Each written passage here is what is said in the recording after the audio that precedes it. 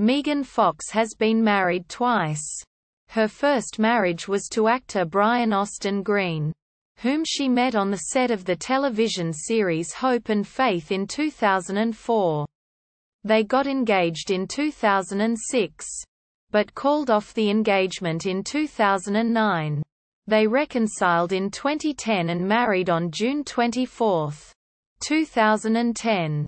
They have three sons together.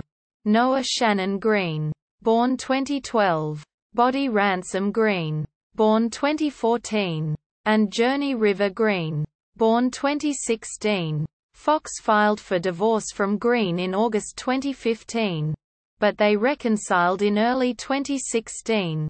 In May 2020, Green announced that he and Fox had separated after nearly 10 years of marriage.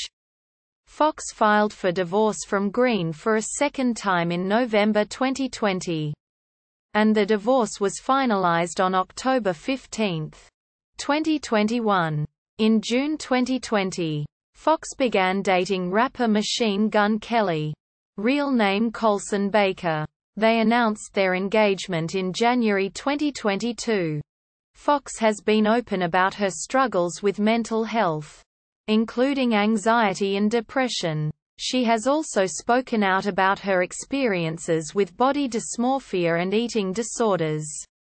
She is an advocate for mental health awareness and has worked with organizations such as the JED Foundation and the American Foundation for Suicide Prevention. Fox is a practicing Wiccan. She has said that she is drawn to the religion's focus on nature and its emphasis on personal empowerment. She is a vegan and an animal rights activist she has worked with organizations such as PETA and Farm Sanctuary to promote animal welfare.